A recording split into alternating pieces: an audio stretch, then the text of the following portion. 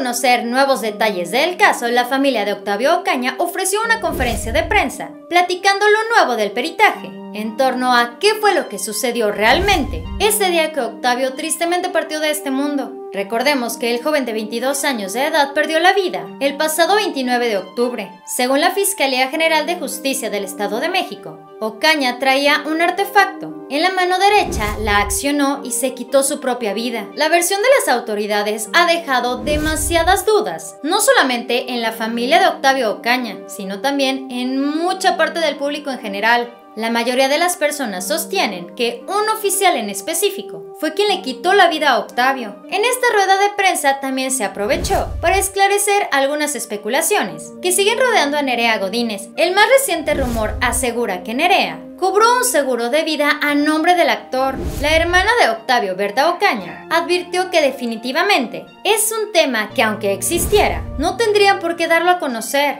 Berta aseguró que estos temas son cosas privadas. Al respecto, el padre de Octavio, el señor Octavio Pérez, fue un poco más seco y aseguró que de Nerea no tenía nada que decir, que Nerea era la novia de su hijo, la respetaba, la quería, pero nada más. Vale la pena mencionar que Nerea no estuvo presente en esta conferencia. Sin embargo, como lo hemos visto en ocasiones anteriores, Godínez sí estuvo acompañando a la familia de su exprometido en otras apariciones públicas y en entrevistas para medios de comunicación. A finales de noviembre pasado también surgió la versión de que ella había cobrado una supuesta herencia tras la pérdida del joven actor. Acerca de esto, Nerea, en de primera mano, dijo lo siguiente: No, no hay ninguna herencia que me haya dejado, por supuesto que no. No sé de dónde sacan tantas cosas.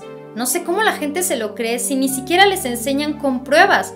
Pero bueno, por si esto no fuera suficiente, en esta conferencia presentaron al nuevo equipo legal que representa a la familia Ocaña Pérez. Este nuevo equipo legal los ayudará a esclarecer las circunstancias en las que el actor perdió la vida. El abogado Francisco Hernández. Con sus propias palabras, el abogado Francisco Hernández dijo lo siguiente. La versión oficial de que Octavio se haya disparado por accidente ya no es la única considerada como válida por la Fiscalía General del Estado de México. Los nuevos elementos de prueba, como es el peritaje independiente, ya se van a sumar a esta línea de investigación. El padre del joven actor, el señor Octavio Pérez, insistió en que la versión, que asegura que su hijo se dio a sí mismo con un artefacto de su propiedad, no es certera. Formalmente, él dijo que quedaba dicho que su hijo no se quitó su propia vida, que solamente faltaban unas pruebas más para poder confirmarlo oficialmente. Este fue el Muro de la Fama. Dale like a este video, suscríbete y síguenos en Facebook. Pero antes de que te vayas, chécate este video. Espero que tengas un excelente día. Nos vemos muy pronto. Bye.